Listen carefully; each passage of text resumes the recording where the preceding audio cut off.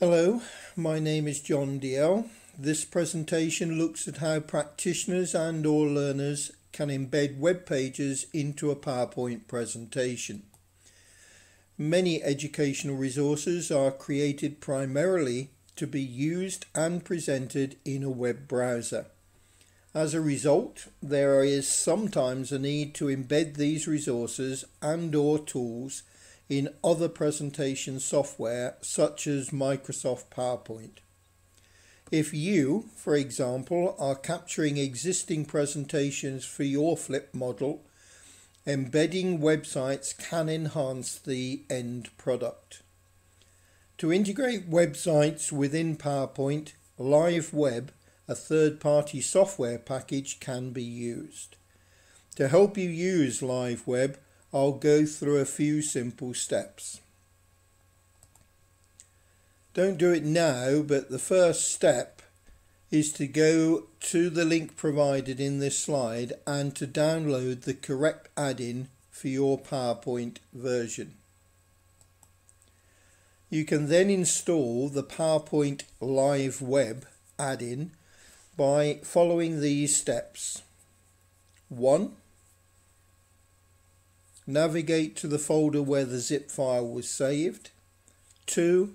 Right click on the zip file and ex select Extract All on the menu that appears. Locate and open the file that has been produced by the extraction. Why? Well, this is to make sure that you know where to find the liveweb.ppam file needed in the next step. Open your version of PowerPoint, click on the File tab and then Options. This will bring up the PowerPoint Options window. In the PowerPoint Options window, click on Add-ins to bring up the Add-in window. Click on the Manage drop-down menu. You will locate it near the bottom of the window. Select PowerPoint Add-ins.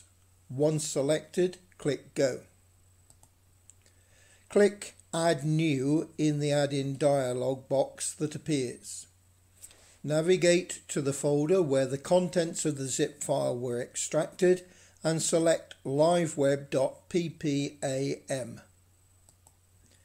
Click OK, then close the add-ins dialog window. Note you might be prompted with the macro virus warning. If so, enable the macro. You can now insert a live web page into your presentation. Click the Insert tab, then click Web Page. Just follow the wizard that appears and enter the web page address, the URL, when you are asked for it. Yep, it's that simple. I hope you find this useful.